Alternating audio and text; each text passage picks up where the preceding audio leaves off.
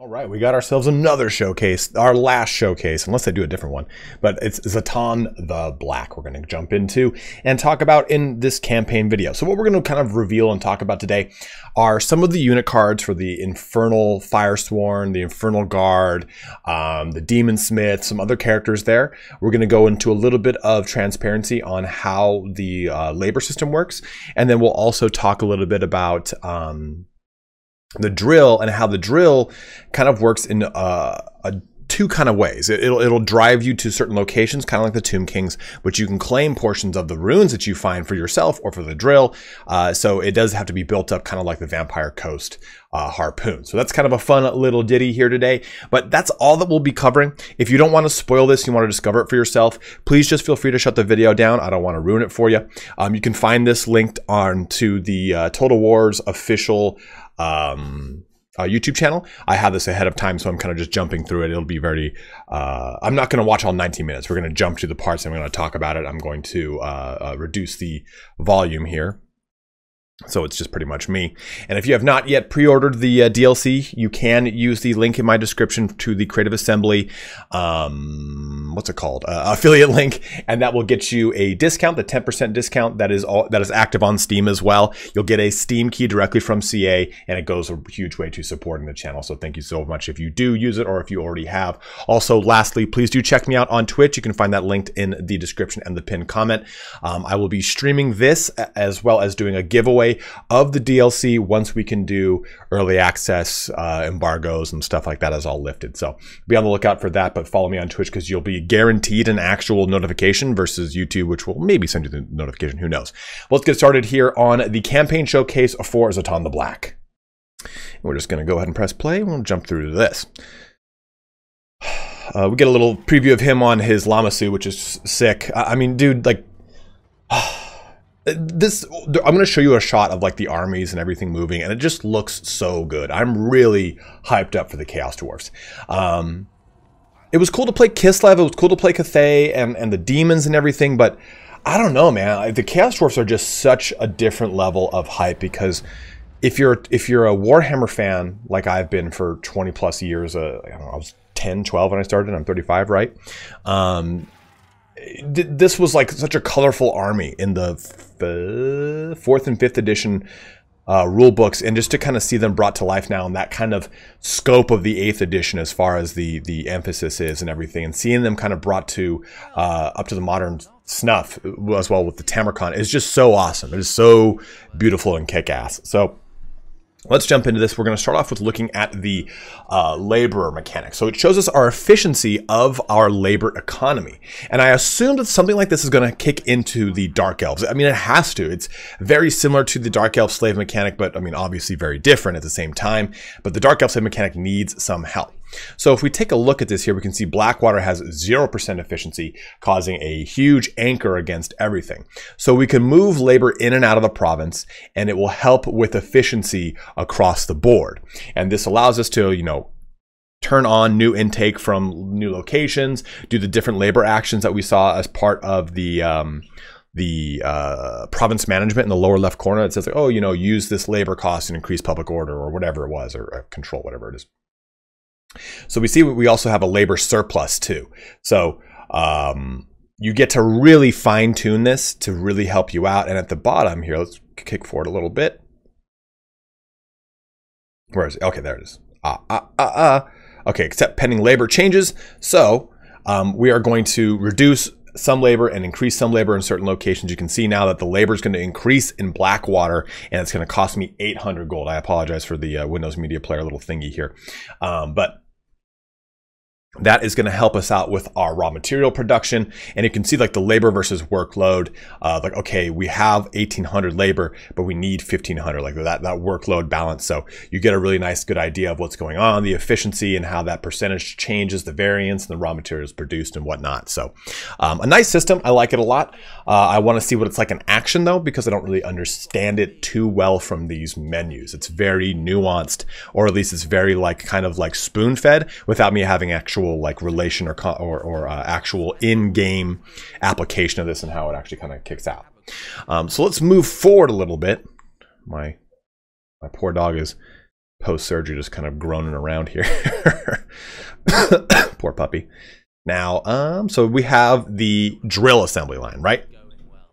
So as we move up, so what's kind of nifty here is that the drill did you see what that it gives? It unlocks recruitment of Chaos Dwarf warriors and warriors with great weapons. And it also gives us income, helps out with raw materials and workload, as well as armaments. So it's actually a very nice building to have. Um, I think the Vampire Coast Harpoon gave income and growth, if I can remember correctly. I can't I, I, can't remember at all. So correct me in the comment section below. So it's nice to see this as a very nice, strong addition to your economy, as well as something for the objective, right? And then we get the Great Drill of Hashut. Now there are two different types of rune, major and minor. The major ones are in gold like this and the minor ones are silver right here. And it's kind of cool because these borrow from a lot of the icons you see in the Chaos Dwarf book, in the Dwarf book. So it's really cool to see these icons brought into the game. The same with the icons for the actual factions and everything. So we'll kind of speed forward here. And there we go. I wanted that little kind of zoom in. So you can decide how this relic, this rune, is used. Do you claim it for yourself or do you use it for the drill? And part of the objective in the game is to put them on the drill, of course, and that is part of a, a much grander uh, scheme. So you can empower the Great Drill. Let's go ahead and let this roll forward.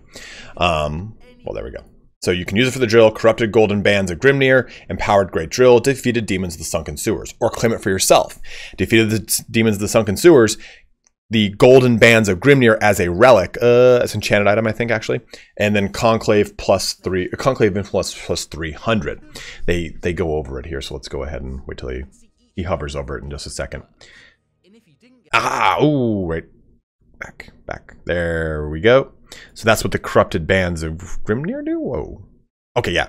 So that gives me character experience. It gives me hero, uh, hero and lord recruit rank plus five, and then melee defense plus five for lords and embedded heroes, all armies. That is species spicy sausage. And then no, uh, I don't think it should be empowered to great grill. Great drill. I wondered if that also gave me a passive of some sort. I assume it goes towards that great drill um, there's like a status of what the great drill is working towards on the actual campaign objective. So I assume it goes towards that. You need to, I think you need to empower it a certain number of times. Uh, the demons of the sunken sewers will be prevented from fighting during the final battle. That's kind of wild there. But of course, here is like an example of a lesser rune. You get the Corrupted Hammer of Smednir, which is going to give armor for Chaos Dwarf Infantry and weapon strength for Chaos Dwarf Infantry, all armies faction-wide. 15% weapon strength, dude. That is really juicy if you use it for the drill. Now, of course, claiming it just basically gives you the individual item that you get the bonus for and your in your conclave influence, which you use to claim seats. So it's basically, do you want to buff your faction? Do you want to buff your character and your uh, conclave influence, and just kind of how you want to do that? And also, if it's the direction of your campaign, these are essentially quest battles for each one of these locations, which is pretty cool. You know, defeat the following lord's army in the battle, uh, Kritka, sacred host of Teapok or Tepok, whatever. Potato, potato. It's a made up name anyway. Um, actually, I don't think that one is. But either way, moving forward here. Is this the one I wanted to look at? Yeah, yeah. So, so this one's pretty sweet. We get a little uh, fight with uh, the vampire counts. And is that Graveguard? Okay, so here is our caster. Here is our uh, Demon Smith, and I would assume, of course, a Sorcerer Prophet would be the actual Lord level caster. This guy is the a caster of fire, but look at his stat profile, dude. He is on foot, I believe. I'm trying to find him on the battlefield. Because this is Zhatan the Black right there. Uh, no, Zhatan's right. Oh, no. Oh, okay. Never mind. Never mind. I was like, dude, his weapon strength is jacked. He's on a Bale Taurus.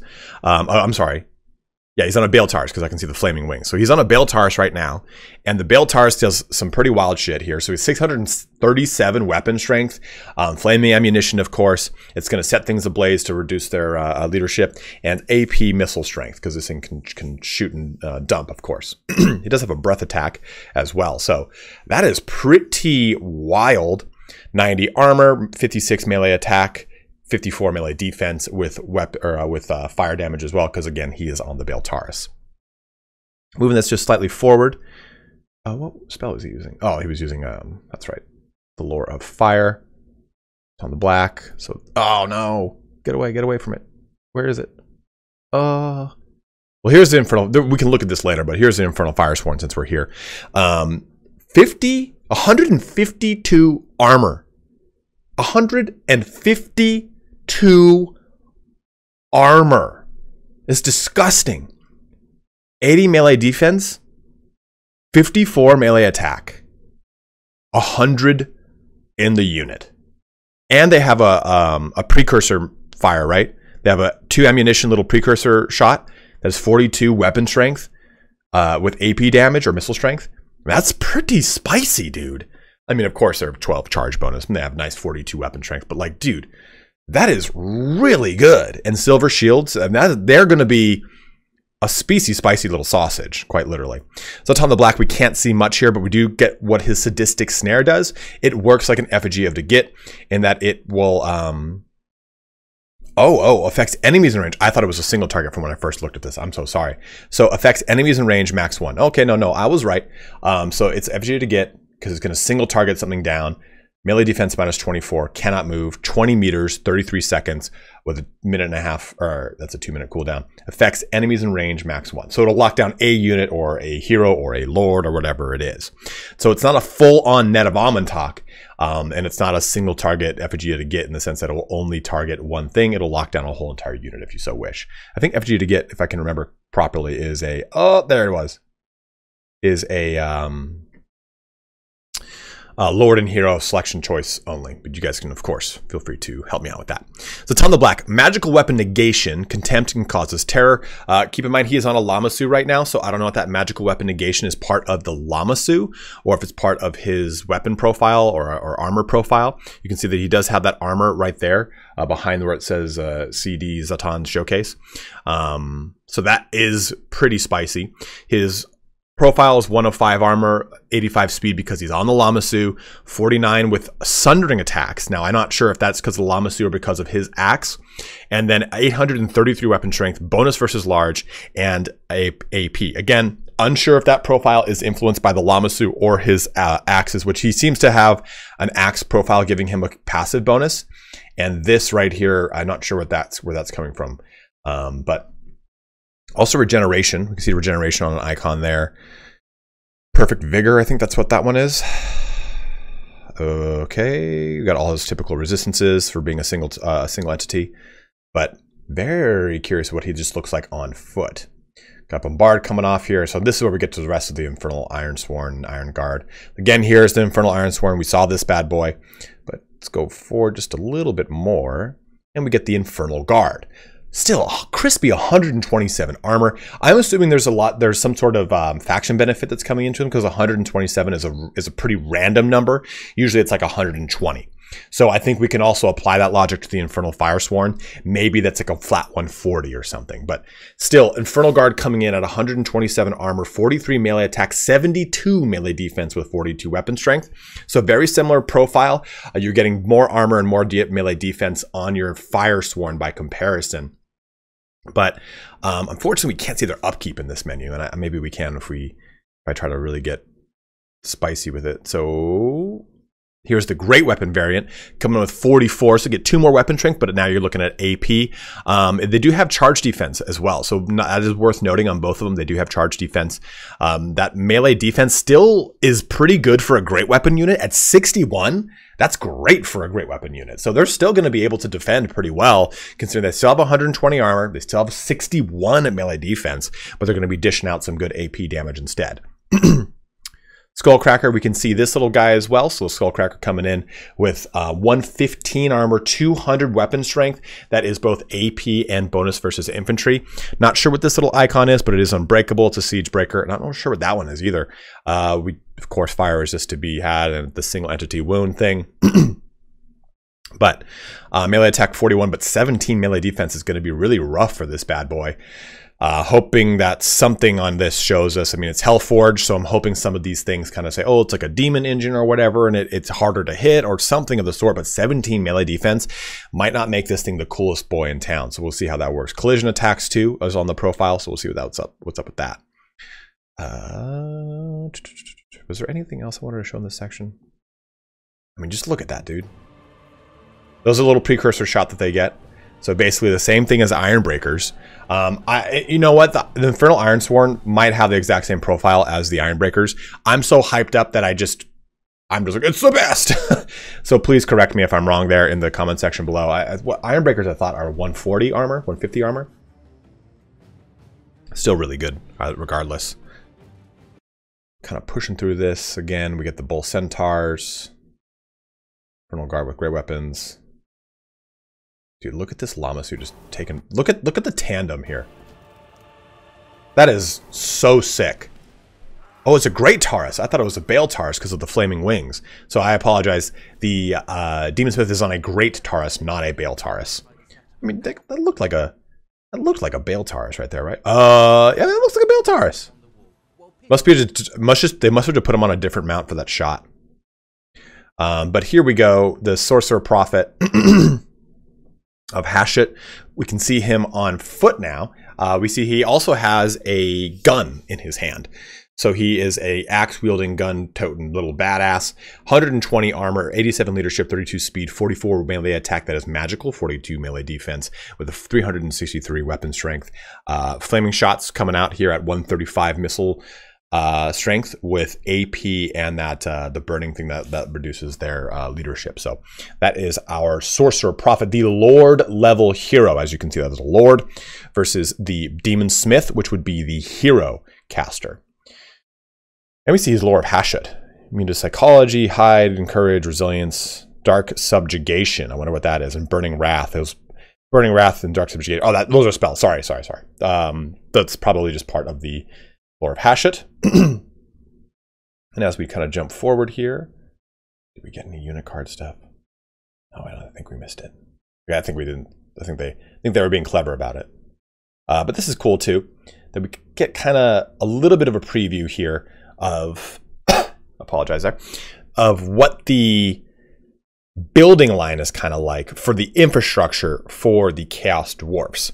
Now, none of this is recruitment, right? None of this causes recruitment, but it's all of it is one to four, or so this is one to four, one to five, one, three, five, three, five, and then a five. So the infrastructure buildings are going to be pretty interesting to see how they kind of uh, play their hand as it pertains to your like factories and the smaller little minor settlements that you build out. Because the infrastructure buildings all are like tier five, tier four buildings. Um, very interesting on that. But we have the Temple of Hashut here, which gives you conclave influence. It's also going to give diplomatic relations recruitment rank and win some magic bonuses. But it seems that a lot of buildings have technology, kind of exploding technology things that if you do it, it gives you this thing as well, right? Uh, effect unlocked when technology, Hashut reverence research, conclave influence gain plus five per turn. So pretty spicy there. We'll kind of jump ahead, dude. Just look at that guy. Look at this dude looking me all badass and everything. I, I don't know why the hats add to it. They should be ridiculous. I ooh, the immortals over there in the background right there.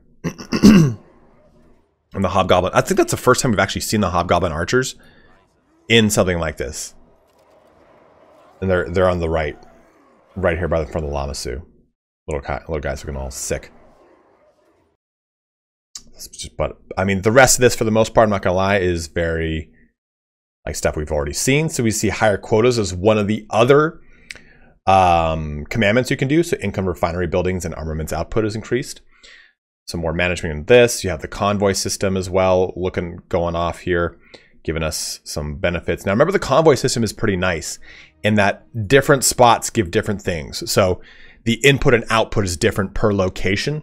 So it gives you different opportunities to go to these locations. And you can see too, I mean, like Grung Zint, Bay of Blades. So as you really expand, you get more and more options to kind of go and do convoys with and get different things. Uh, this is both of these are examples of gold in labor. Oh, so this is gold in. This is uh, raw materials out, and this is laborers out. But sometimes it'll give you armaments, plenty of options and choices to be had, um, and then units that you can add to the list. Ah, the Dread Oh, okay, so we got the Sneaky Gits. We've already seen these guys. We've already seen these guys, but the Iron Demon Dreadquake Mortar. So, 100 armor, 60 speed, 41 melee attack, uh, 24 melee. I don't care about those stats.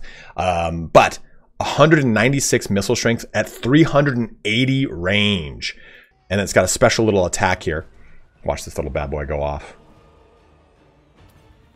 I thought it actually exploded. I remember seeing it explode, I thought. Oh, the Deathshrieker rocket launcher. We can see that little guy too. Oh, here's the uh, the Overseer. Or whoever the hero level uh, uh, Chaos Dwarf hero is. We can see him. 70 armor. Is he 70 armor? That seems really low. This is melee specialist, though. 70 armor. I mean, looking at the, the picture over here and the actual unit icon, it's kind of low, man. Well, 70 armor, 39 uh, speed, which is which has been lowered, right? Or is this actually the Bull Centaur, just a different just a different angle? That actually might be it. But it's 550. Yeah, that's probably that makes more sense. If his speed is 39 and it's and it's uh, reduced, this is probably the Bull Centaur. I apologize, but 552 weapon strength AP with sundering attacks coming out of him. Oh my god, look at that.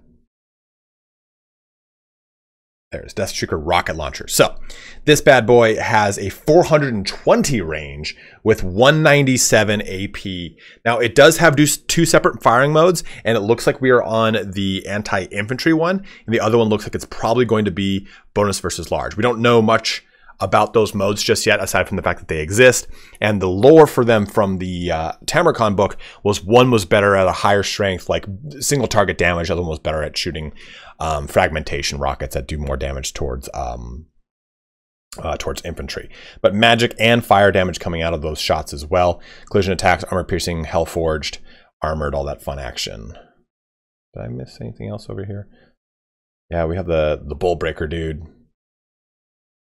I can't tell if he's on a mount or not. I don't think so he is. I don't think he is this time. Yeah, I think this guy's just on foot. Yeah, 363 weapon strength. Uh oh, oh, oh, oh, oh. That's the Lord. Another episode of I'm Dumb. I'm Dumb. So pushing forward here. Yeah, this was the shot I love. Like, just look at this army, man. This is going to be so fun to play as the Chaos Dwarfs. And just have these little tiny Blazing Beards of Bazarak. Now we see the regiments of renown. So flaming attacks coming out of them at 54, uh, being buffed by whatever means. Uh, 63 melee defense coming for them, 38 weapon strength. They also have a precursor AP missile attack in them, that 38 weapon or missile strength uh, and a 70 range. So looks like just a, a much different. Oh, they also have frenzy, frenzy and immune psychology. So these guys are going to be pretty, pretty intense. I, I don't. I don't remember the Chaos War. The Chaos Warriors, I don't remember having any kind of precursor attack in their profile. So they get a precursor attack, frenzy, and immune to psych. That's pretty wild for a uh, a regiment of renown unit having a lot of a lot of functionality there. So the Fireglaive unit, we also can see that now. Again, 115 armor, looking nice and crispy. Oh, that's nice actually too. We can see the Infernal Guard with great weapons. Oh, okay. So 115 with the Fireglaive. I, I thought it was a, a, different number here. So Fireglaives have 115 armor coming in with 36 melee attack. Still 54 melee defense. I mean, it is a tier 3 unit, so that's nice, but um, you get 20 less in this because they are a Fireglaive, so you have a missile range of 145.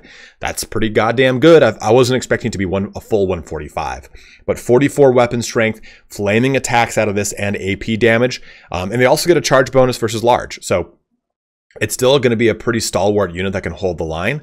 Um, worth noting too, that is a glaive. So even if they're not shooting that thing, they're getting a bonus versus large and AP damage on a 34 weapon strength uh, weapon versus the Great Warriors are just that bonus versus, um, are, sorry, are just that straight AP damage at 44 or 42 weapon strength. It's right. It's right here. We'll, we'll figure that out.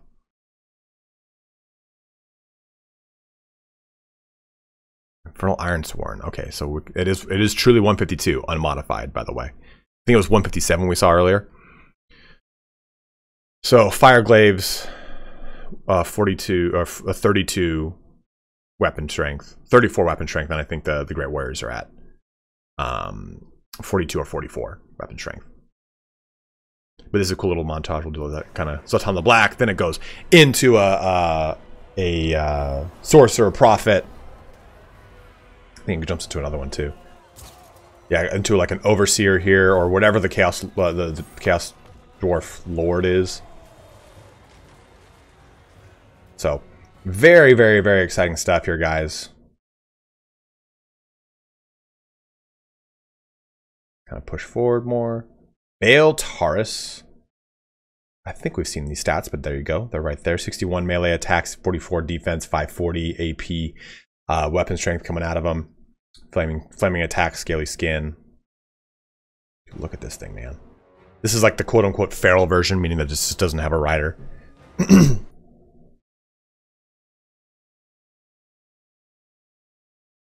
Zal the Lash.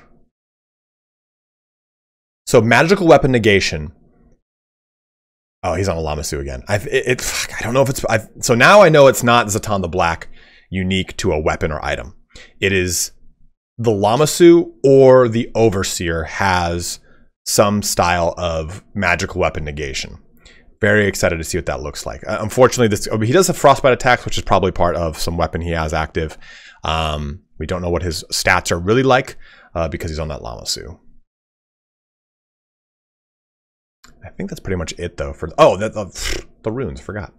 So back into the Hellforge, we can go into this bad boy and get a sense for our missile infantry runes. Let me go back a little bit here. There we go. So missile infantry we saw what the we saw what our actual infantry right could do but now we can see missile and this is reload time reduction enable suppressive fire extra reload stock spell resistance vanguard deployment uh, extra powder was at the bottom here and that's those those for uh, our uh, hellforge now we also are going to be able to see our bull centaurs I have to go just a little bit before this so i can see what that right before the tooltip pops up. Okay, so devastating flanker, murderous charge, vanguard deployment, strength from flesh, which looks like some sort of recovery. Or um, uh, it's probably a regen while in combat. Strength from flesh. I would imagine something like that, like an eating thing. Uh, attribute hell forged again. So that's the icon for hell forged. Now that we see it, barrier hit points. Ooh, give him 800 barrier What's visage of fear. Uh, looks like cause terror. Murderous Charge, mass increase, charge bonus, charge speed, and acceleration. We already know Vanguard. Uh, Blood Greed. So that's uh, okay. So Strength from Flesh is just probably a straight up um, regen, whereas Blood Greed we know how that really works from. Okay, this so now we can see Blood Greed. Um, we know how that works from dealing with plenty of chaos and Minotaur stuff in the past. So that is for the most part, our wrap up here, um, I don't think there's anything cool in this video. Yeah, they don't. Oh, Bull Centaur Renders with dual axes, 114 weapon strength, AP, as well as bonus versus infantry. Uh, 62 speed on them, so very, very quick. 53 melee attack and 60 melee defense still. That's that's pretty good. Against their miners, more dual axe. I didn't think we had unicards in this very much, because usually I don't do it in these little quest battles. Back a little bit. Minus blasting charges. Infernal Guard with great weapons. It was it was 44 with sundering attacks. oh, it's sundering attacks, not AP. Wow. Infernal Guard with great weapons are so good. Zhatan the Black, of course. This is a really cool shot. So this kind of brings our video here to a close, going over everything. I mean, we've seen the, the Chaos Dwarf Blunderbuss and stuff like that. Um, but I'm really excited for this DLC. I don't know about you guys, but I am stoked on it. Dude, look at that thing. Dreadquake mortar. That's a Dreadquake mortar going off. I knew I saw it somewhere.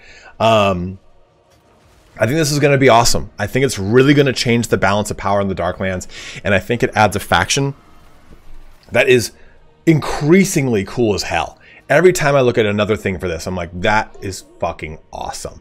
Every time, it's another cool little thing with these guys. It's like finding out more facts about owls. You know, it's always something with these assholes. So I'm really, really stoked on it, guys. Really fired up for this DLC. We'll be seeing it April 13th going live. Um, hopefully, we'll jump into some early access uh, coming in the next week or two. I would assume so, you know, with the 13th around the corner. Um, but we now know quite a lot more about the actual individual campaign mechanics, how the Hellforge works, how the labor mechanic works, how the convoys work, how the conclave works. There is so much stuff layered into the Chaos Dwarfs. So go ahead and let me know in the comment section below how you're feeling about this, if you are as stoked as I am on this DLC, or if you're like, nah, I could wait. I could, I could hold off. Um, I didn't think I'd be excited for anything dwarf related in a long time, but here we are playing these guys, and I'm just absolute jazz hands about it. But don't forget to use that uh, Creative Assembly affiliate link in the description below. As always, thank you so much for watching here today, but have a good one and take care.